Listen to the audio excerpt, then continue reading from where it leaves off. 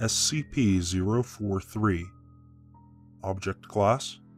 Safe. Special Containment Procedures.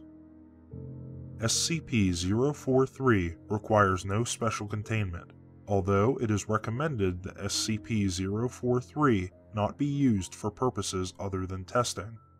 A turntable is to be maintained in the same room for testing.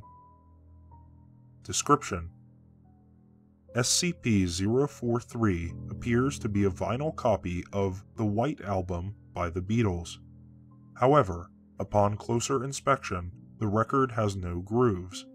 In spite of this, the record will play from start to finish regardless of the starting position of the needle.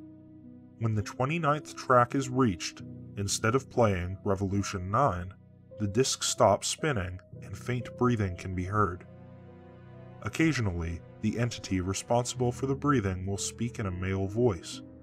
The entity will respond to questions and shows a profound encyclopedic knowledge of the music industry, musical theory, and obscure trivia about many bands and artists.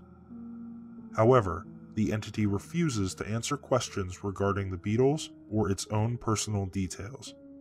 Inside the jacket, a small handwritten note was found, reading the following